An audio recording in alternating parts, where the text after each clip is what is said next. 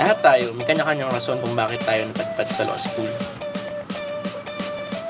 Mula sa simple beginnings hanggang triumphant endings. Pero ano nga ba ang bagay na inaasahan natin bago tayo pumasok ng law school? Halina't magbalik tanaw.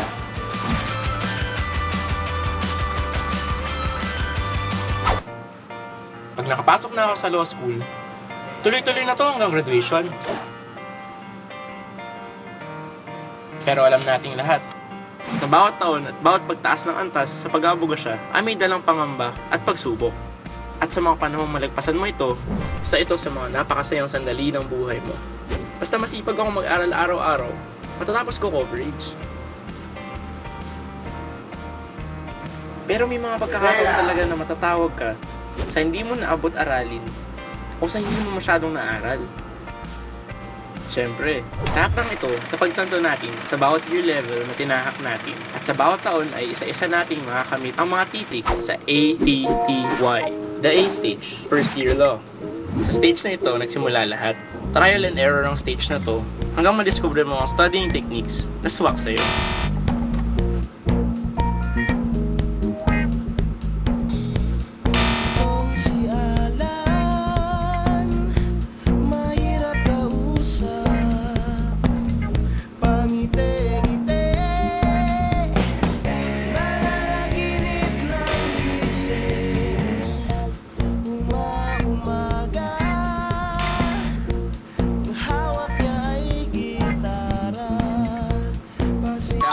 Self-realizations na ito ay mga first, first month. Ito ang most agonizing adjustment period. This is the stage that will break you apart.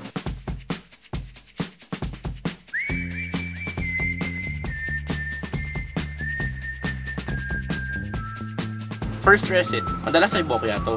Malamang, ito rin ang first bokya mo. Hindi naman sa hindi ka nag-aaral, kundi nauutol ka sa sobrang kaba o sadyang na mental block ka nang matawag ka ang pangalan mo. First set of acquaintances and friends. Sila usually ang mga nakatabi mo sa dinner table after ng freshman orientation. Sila ang mga unang-una mong kadamay pagkatapos ng bokeh recit o disappointing quiz result. First bar ups experience. Ito ang isa sa mga nakakatuwang experience na naranasan mo. Although medyo shocking talaga pagdating mo sa Diamond Hotel kasi ang ini-expect mo ay toxic. Pero nagsasaya pa rin pala ang mga tao sa isang importanteng school activity. First year law is not just learning a new language, it's learning to live a new lifestyle. At syempre, pag 78 ang QPI mo, ayan na. Second year ka na. Next stage, second year law. Ito ang taong pinaka nakaka-drain. Although at this point, medyo alam mo na ang diskarte sa resits at exams, but it still entails adjustments kasi sa bulk ng aralin mo. Law school may be competitive, but it is a different kind of competition. Mas uso sa second year ang tulungan, digest pools, case discussions before class starts. Dito mo mas ma-establish ang better connection sa mga kaklase mo. Gayun pa man, uso din sa year na to ang Kodak moments. Sa sobrang daming inaaral mo, hindi mo na alam kung saan ka matatanong. Second year law is about the survival of the hardship law school throws at you. This is the time you realize you are not alone in this journey. Sa mga panahong ito, inaasam-asam mo na ang mag third year. Third year law. Ang third year ang maaaring matawag na tight stage. Dahil dito, mas humigpit ang aaralin at mas mataas ang aabuting QPI. Ito din ang panahon na makikilala mo ang batchmates mo at mas magiging tight kayo.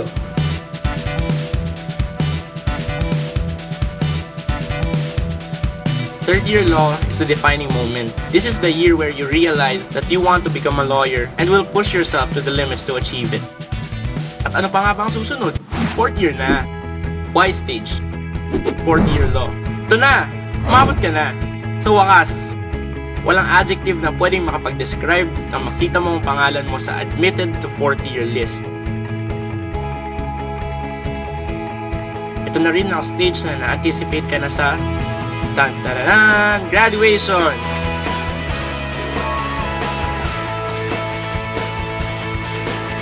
Ang magsuot ng red toga at ang mag-march sa papuntang Abbey ang isa sa mga hindi mo mababayarang event ng buhay mo. Kahit gaano pa kainit ang suot mo dito, hindi mo yung iindahin dahil sa sayang umaapaw sa puso mo. Bawat taon ay kakaiba.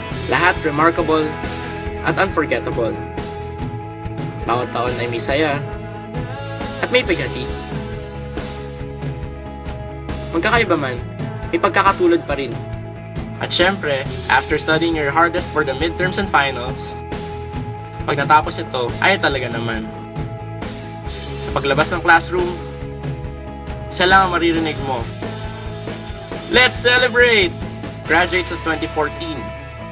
You are now at the last leg of the race. With all of the experiences and learning you had in the past years, you are more than ready for the ultimate goal.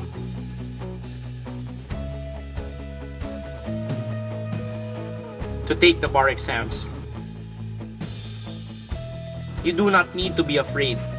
You have come this far. Courage is not the absence of fear, but rather the judgment that something else more important than fear. Do not worry because your bar ups and bed and family are always at your side. From the materials to the services you will need, we are just here for you.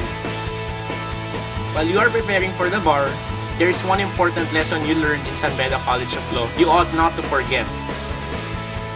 Ora et labora. It is inspiring to know that you were able to instill prayer and hard work into your lives. The studying, triumph, diligence, and sacrifices you made were for the greater glory of God. This made you resilient, that to every fall, you stand up still because you strive to do it for the Lord. As a Beda, you are equipped for what is coming for you. And as the barman draws closer, always remember that you are secured. You are academically and spiritually locked and loaded. Time to get that dot on your ATTY. From now on, you will be traveling the road between who you think you are and who you can be. The key is to allow yourself to make the journey.